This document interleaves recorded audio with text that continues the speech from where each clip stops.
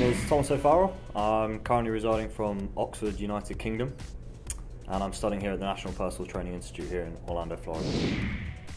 Hi, I'm Stacy Carmel from Ocala, Florida. Hi, my name's Tamar Boyd from San Diego, California. I decided to become a personal trainer purely because to help people um, through health and fitness, um, to lead people and to give them, uh, in some cases, functional independence, um, to improve people's holistic lifestyles, um, and just generally to give to the general population and to the public um, something that no other occupation can give, um, which is a, a, having enjoyment and uh, which comes with health. I decided to become a personal trainer because I'm a mother of three, and like most women, I struggled to get back to my pre baby weight and to get healthy emotionally, physically, mentally. And I decided to become a personal trainer so that I could help myself as well as help other women who struggle with the same issues.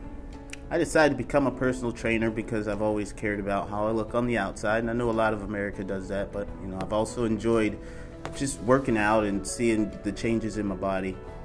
So, I gained from NPTI the ability to take the concepts behind personal training and put them into practical application as far as program design and exercise science.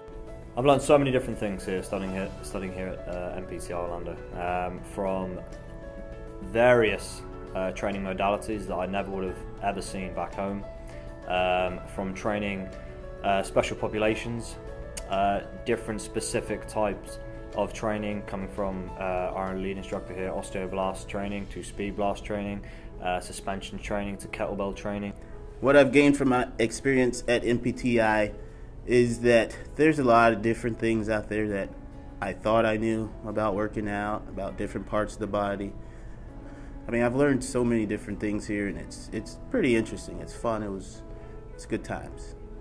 I plan to after when I graduate in a couple of weeks' time to head back to London, back in the United Kingdom, and uh, start my career as a personal trainer there, working in the capital, um, and passing on my knowledge that I've taken from here at NPTI and passing it on to my clients back home after I leave NPTI, um, right away, of course, I just want to get my feet wet somewhere in a gym or something, just so I can, you know, get the nerves out and feel comfortable.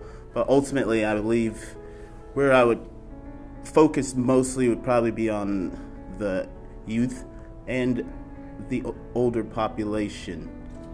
When I leave NPTI, I plan on educating women on group exercise prescription as a preventative measure towards postpartum depression, and I'm looking to start a boot camp for women um, pre and postnatal um, and educate them on the benefits of fitness, group fitness, and nutritional education.